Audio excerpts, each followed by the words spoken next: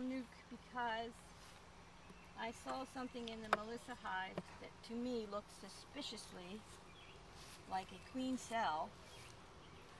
And um,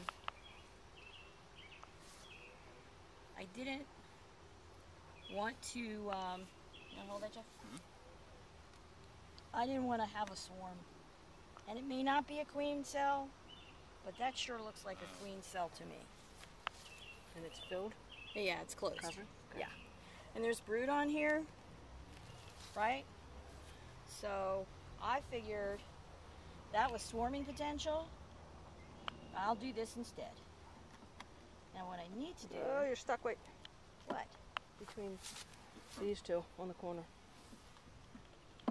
Comb. Yeah, I know. Okay. So these are here. Put these ladies back here. I think we don't have much going on here, right? We just have bees exploring. Beautiful. Okay, now what I want to do, uh, where did I take that from?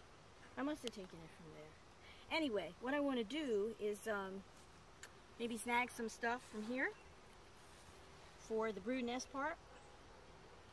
Okay, to fill in that area. All right, Jeff, ready? Wait, here it comes. Smugging. Ooh, listen to that. Wow. Hear that That's hum? hot.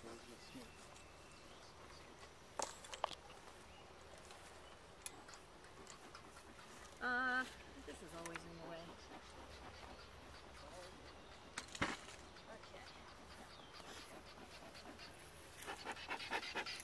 Oh, that's from me putting uh, Cloth oil in there, mineral oil for varroa mite control last fall. And it's sticky. It gets sticky and, and it just stays there. It's just paper. Okay. All right, I know what's going on at that end. I'm going to start here. Um,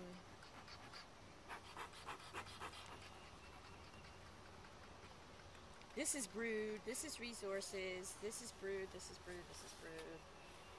Uh, yeah, maybe I'll do it from here.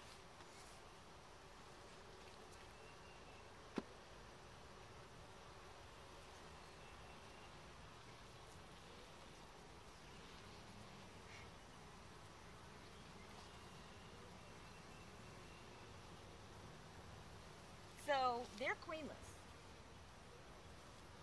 There's the same family of bees. So we're gonna go like this. And let them continue doing because they're the right age to be working on comb. Now what I want to do is if there's room for one more, I want to see if I can find some pollen for them.